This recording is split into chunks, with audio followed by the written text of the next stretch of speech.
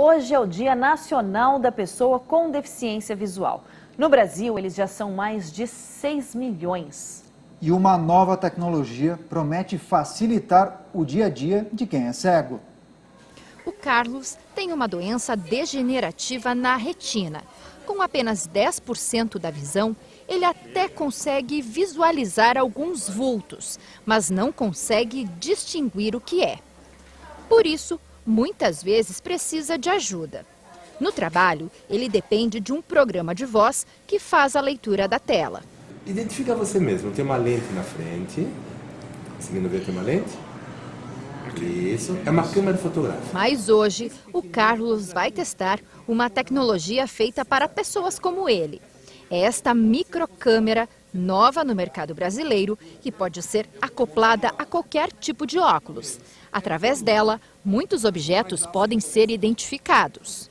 É uma microcâmera que ela é acoplada numa haste de um óculos para servir apenas de suporte. O óculos não tem função. Ele apenas serve para ficar na altura dos olhos. E essa câmera, ela fotografa, ela escaneia e ela transforma tudo que ela fotografou de leitura, ou seja, de letras e números, em áudio, de uma forma absolutamente imediata. Encantamento com que ouvia a sua querida avó, e que o país era apenas palco para sua imaginação apaixonada. E o Carlos, que está acostumado a ler somente com livros eletrônicos, hoje vai poder manusear as páginas. Achei bem interessante essa questão de a gente poder segurar o livro, poder sentir o livro e ao mesmo tempo de estar tá olhando para o livro, mas a gente está ouvindo que está se passando né, na história, ou seja, a, os nossos olhos, através dessa câmera, consegue ler as páginas dos li do livro, assim, a gente pode sentir o livro, né? Isso é legal. E olha só que interessante, esse aparelho ele é capaz de registrar o rosto das pessoas. A gente vai fazer o teste aqui agora com o Carlos, ele vai registrar o meu rosto e toda vez que ele se encontrar comigo, ele vai saber que sou eu. Vamos lá, Carlos? Vamos.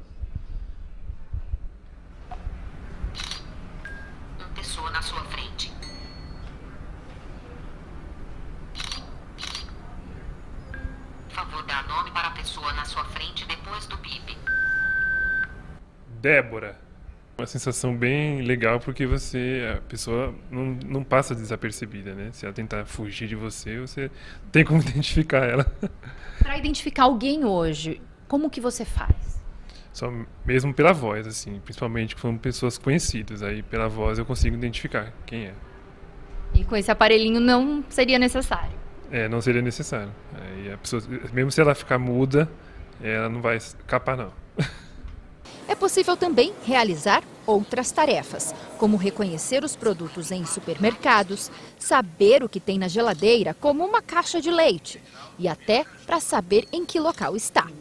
Para quem enxerga, algumas coisas são muito simples, mas para quem tem deficiência visual, se tornam coisas muito difíceis, como ler uma placa, por exemplo. Carlos, o que está escrito nessa placa aqui? É, Rua Consolação, cemitério da Consolação, na verdade, é, Rua Cervantes.